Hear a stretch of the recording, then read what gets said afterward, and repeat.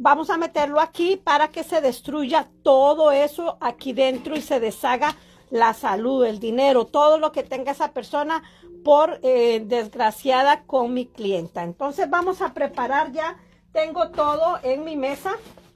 Eh, tengo un poquito de desorden porque lo que quiero es irles enseñando paso a paso cómo se hace este vinagre. Primeramente vamos a ocupar un galón de vinagre.